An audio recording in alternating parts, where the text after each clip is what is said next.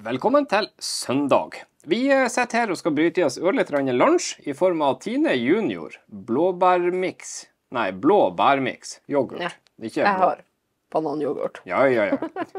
Som Samira er veldig glad i. Eh, så vi skal ta og eh, skynde oss til livs denne. For at hvis vi ser på skjermen attome her, så er det et eh, spill på der som er på Anne sin skjerm. Og Ja. jeg har et, eh, akkurat det samme spillet på min skjerm. Men eh, vi skal være etter, så kommer vi eh, ganske så straks mer nøye og inn i detaljer på akkurat eh, hvordan spill det er, hvorfor det er et spill, hvor lenge vi har spilt. Ok, kanskje ikke hvor lenge vi har spilt, for vi, vi har ikke lyst til å prate om akkurat det. Yoghurten er vel uh, fortært.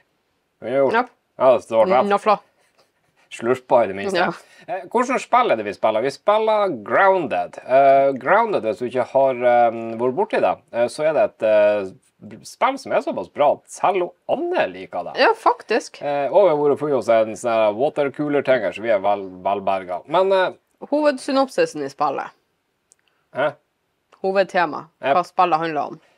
Det handler om at du er knøttliten. Jeg tenkte jeg skulle finne utgangen for således å vise hvor liten det var, men jeg tror jeg har rota meg bort inni den forbaskede basen der. Andre veien, Ja, så forbi meg. ja da. Jeg Jeg, står der og soser. han står her med en treplanke i øynene. Nei, det, det, det er et eh, ekornskjell, altså et hasselnøttskall. Sånn var det det var. Eh, jeg tror jeg finner utgangen her. Og hvis vi har eh, veldig mye flaks, så er det ikke mørkt ute. Men det er det helt sikkert når jeg skal vise fram eh, spillet. Ja, ja, ja. Eh, så det er egentlig lite å få gjort med det, men jeg kan se om at jeg får så mye som mulig her. Det du, det du ser her, dette er trekløver. Ja, Eh, så ting sier at vi er små. Eh, du kan selvfølgelig hogge de ned, og så kan du bruke de til ting, sånn som du kan i de her spillene. kan du også få løvene i hodet. Ja, ja, ja. Eh, vi er veldig små. Ja. Og det, det er liksom det som er hele hovedpremissen med det spillet. her. Vi driver på å bygge oss en aldri liten base her, for at vann er jaggu tute ta med vanskelig å få tak i. Kom deg inn, for det er edderkopper. Hva er det for noe? Ja. Det er et skjelt. Eh, ja, en lintur.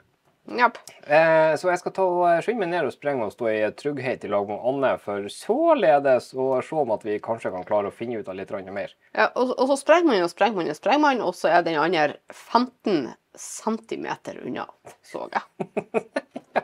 Ja, nå er du 14 cm unna. Um, Eh, ikke, ikke meter eller noe sånt som Ah, det normale spill. centimeter. Yes. Men, men uh, da skal jeg stå her, og så skal vi finne ut av hva vi skal gjøre for noe. For uh, vi har en test på, i, på gang i dag, uh, borte med testbordet. Vi driver på å teste spill her for multiplayer, eh, sånne ting som skal streames og skal recordes litt mer på dette. Eh, Jeg har slått av en skjerm her fordi at eh, den inneholder klassifisert informasjon. Eh, Men kan, kan jo også nevne at Grunnen til at vi gjør det her i dag, det er at hun Anne hosta og harka noe helt forferdelig. Ja, jeg kjenner at jeg er gruggen. Jeg også skikkelig gruggen og groggy og ikke helt i form. Så kanskje dette ikke var den beste recordingdagen vi har hatt på en stund. Men Nei.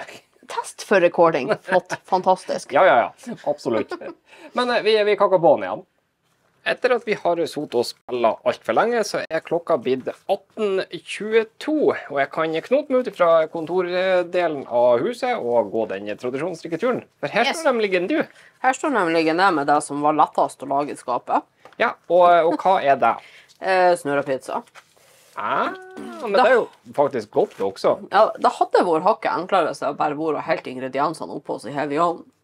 Eller hvis man hadde en sånn som de har i Back to the Future, for da pakker du bare en pizza i en eh, ovn, og så poff, og så blir den stor. No. Det skal sies at den er på størrelse med en gammel femkroning til å begynne med, da. ja, så rehydrering var det veldig Jeg skal akkurat si det var vel ikke en ovn, det var en rehydreringsmaskin eller noen innretninger. Ja. Men de har fått den gode pizzasausen tilbake. Den er fra Eldorado. Ja, Så vi er berga. den er jo bra det, da. Ja. Så, men eh, da, da er det middag på gang. Eh, Middag på gang om ca. en halvtimes tid. Flotte greier, men da skal jeg ta og prøve å gjøre alt klart fram til den tid, og så kakker vi på igjen med mye middagsbordet. vi gjør så. Klokka er blitt 19.09, og maten er kommet seg på bordet. Yes. yes, den er faktisk det. Snurrepizza. Ja, ja, ja. Eh, jeg skulle si raskt og enkelt, men det var, det var enkelt, sier du. Ja. Men ikke så raskt. Nei, det skal stå i en halvtimes tid, så det, det ting tar tid. Ja, eh, det gjør absolutt det. Men eh, de ser nå gode ut. Ja, Velsmakende og i det Ja. hele tatt. det skal være samme som sist, så men Forhåpentlig mindre hår i de denne gangen. Håper det. Han Ratata hvis hun røyta noe forferdelig på forrige. Jeg skjønner ikke hvordan det skjer, men det skjer nå. Nei, og jeg skjønner heller ikke det er kun i de bitene jeg tar. Yep. Om det er sånne her greier, eller om det er brødskive eller egg, uansett hva det er for noe, kun meg som sliter med de hårene. Eh, Men eh, vi skal gaffe i oss litt mat, og skal se videre på Prison Break. Episode, eh, sesong to, episode tre, som heter Skanne. Eh, og så kaker vi på den igjen borte med testbordet, gjør vi ikke det? Ja, vi gjør så. Flotte greier. Mm. Klokka er blitt 24.09. Yes. 24.09. Opp. vi har sett for mye Prison Break. Opp. Vi har spilt for lenge. Ja. Men vi Vi har spist for mye. ja, til sjeldenhet så, så, så har vi det. Nå- skal det sies at uh, det hører til sjeldenheter. Av og til.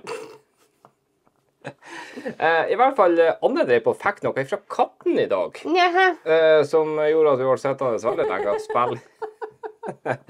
Det var selvsagt et spill du fikk. Ja da. Grounded som presentert. Jeg anbefales å prøve hvis du liker å spille.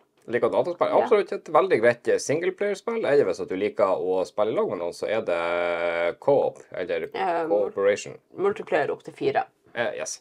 Uh, det, det, det, det er vanskelig å forklare spillet uten å spoile så altfor mye, så, men det er, et, det er et bra spill. Jeg tror det var bare 350 kroner eller der omkring, men det er det absolutt vel verdt. Så, men du fikk et annet spill også, så du har gått og gnagd om i uh, langsommelig tid nå. Jeg skulle visst ha fått det på PlayStation, det har ikke plass på PC-en.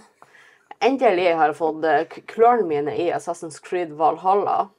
Eh, yes. Bare for å innse at jeg har rundt om 100 gigabyte for lite lagringsplass på maskinen.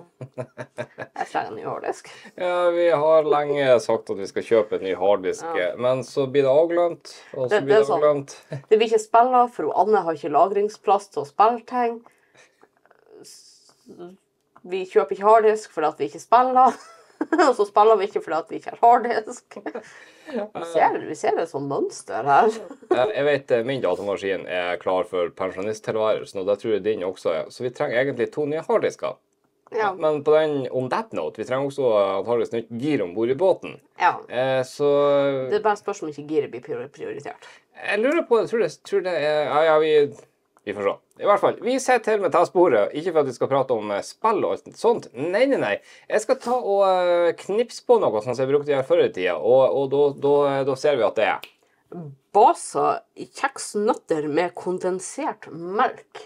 Kondensert melk. Jeg tror du sa kondemnert melk. Uh, Hiv den bare i det.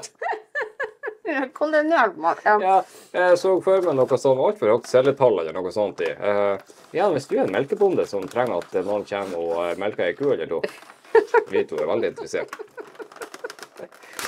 Uh, men uh, hva det er for noe, det her? Hva, hva, er altså kondensert melk? Er ikke det bare tørrmelk?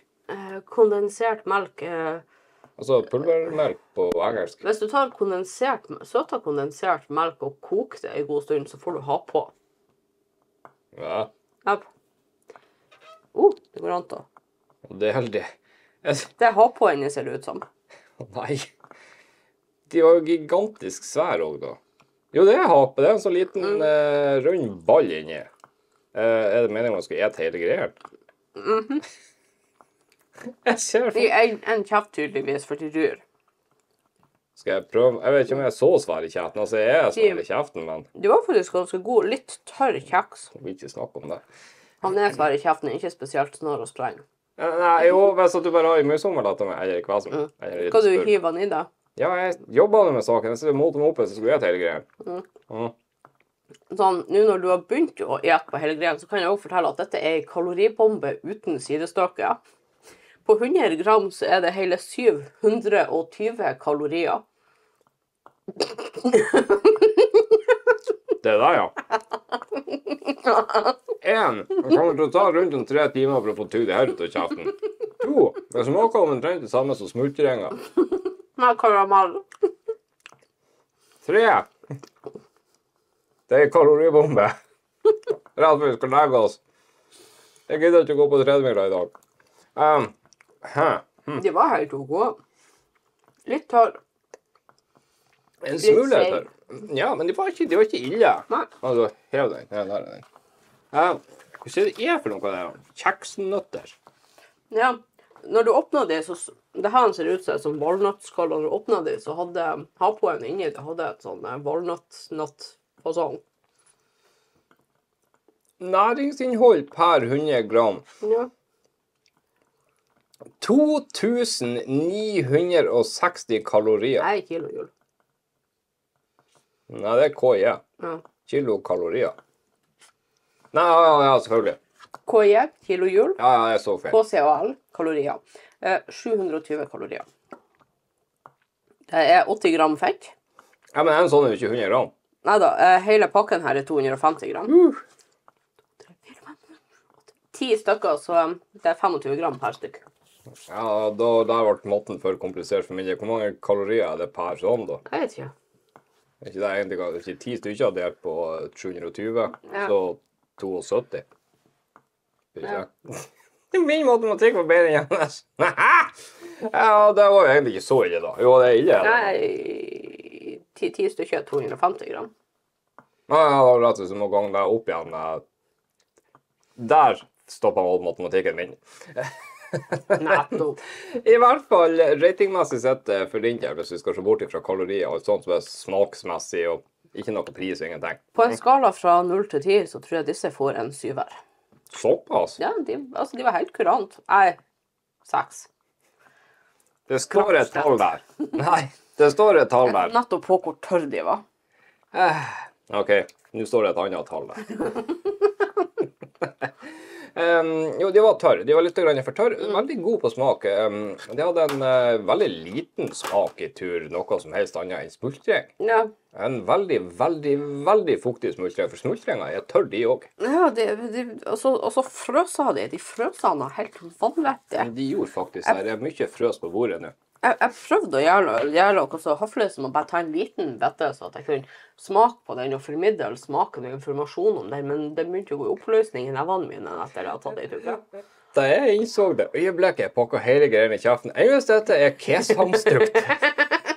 Å, krepp, tenkte jeg meg sjøl, om da er det aldri for sent. For det var det blø. Men jeg slapp heldigvis det, da. For da, du vet, drevne testere som vi er, Eh, så evner vi ikke å utstyre oss med ei spotteskål. Nei, eh, der skulle vi egentlig også hatt da en bib, tydeligvis. Eh, og ei fjøl for å skjære opp ting. Vi tror eneste gang vi har hatt ei, ei eh, fjøl på dette greien, er når vi testa um, Hva det var for noe? Tjalva. Tjalva-greien var det det, ja.